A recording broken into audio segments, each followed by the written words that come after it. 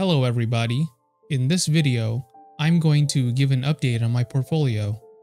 Right now my portfolio is worth $101,280.95. In the past year, I am up $27,904. Year to date for the year 2024, I am currently up $10,881.56. Today, I made $415.91 during the day. After hours, I am down $126.20. Let's go over my positions. For my options, I'm selling LUV $28 covered calls. These expire July 5th. My total return, I am down $415. I'm selling Google $180 covered calls. These expire July 19. My total return, I am down $164. I'm selling Robinhood $18 covered calls. These expire July 19. My total return, $560. I'm selling Starbucks $80 covered calls. These expire July 19. My total return, $748. I'm selling SoFi $8 covered calls. These expire July 19. My total return, $666.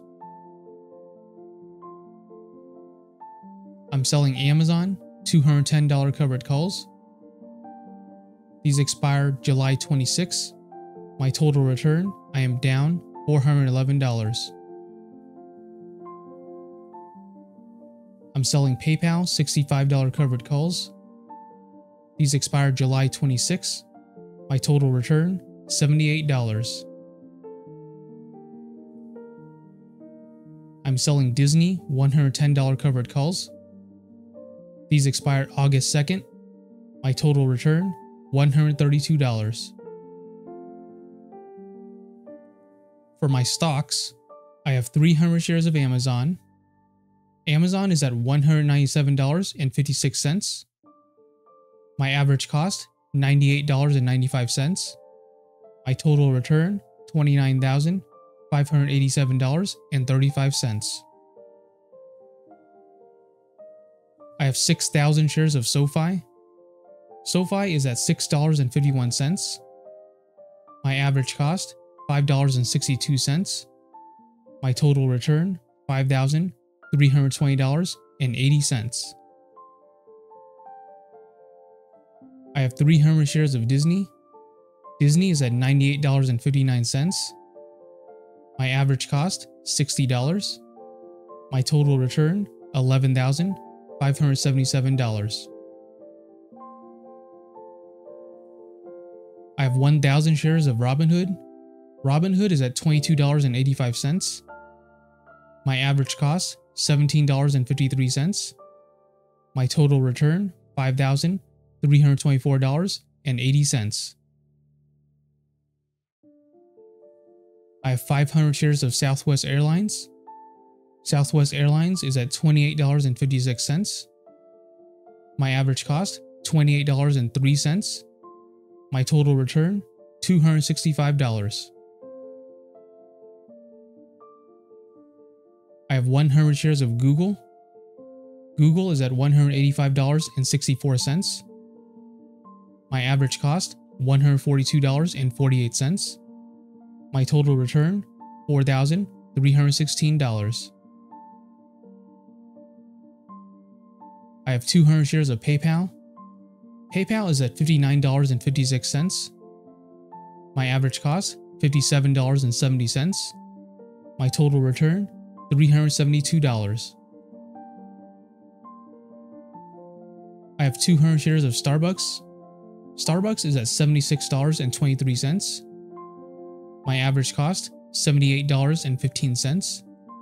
My total return, I am down $383.50. This is a margin account. my margin total is $115,359.87. My margin used is $103,016.49, which leaves me with $12,343.38 in buying power. My margin status is low risk. My buffer is $47,975.49. My annual interest rate is 6.25%. The daily interest that I'm paying is $17.71, and I am borrowing $1,000 interest free. So today is July 3rd. Something to note here is that because July 4th is tomorrow, which is a holiday, the market actually closed early today. So I think it went to, what was it? Like uh, 9.55 a.m. So about 10 a.m. was when it was open until uh, in my area. And then it closed. So it wasn't open for the whole day. So I ended up at around $101,000 in my portfolio, which is not too bad. Um, usually when I'm at a hundred thousand or more, it goes down like immediately after, or it's been going up and down in the past month or so. So um, I'm still holding above $100,000, which I'm happy about. Now, how are things going to go moving forward? Well, in two days, this is going to expire, my LUV $28 covered calls. And LUV right now is above $28. It's at $28.56. Now, if it stays at this price, as long as it stays above $28, my shares are going to get called away. I'm just going to collect my premium. And then uh, I'll decide what to do with the money that's freed up. Um, I'll have to invest in something else. I'm thinking several things. Um, honestly, I might get more shares of Starbucks, maybe PayPal. I, might be something, either of these or something new. Uh, we'll see. But that's what I'm thinking. Um, I'll keep on making more updates just to let you guys know what my positions are, what I'm investing in, what my returns are, etc, etc. So if you guys like this type of content and you guys want to see more portfolio updates from me, please make sure to like and subscribe.